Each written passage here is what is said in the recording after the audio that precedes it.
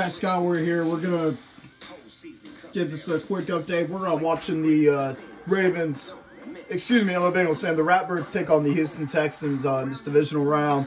Obviously, winner goes to the AFC Championship game.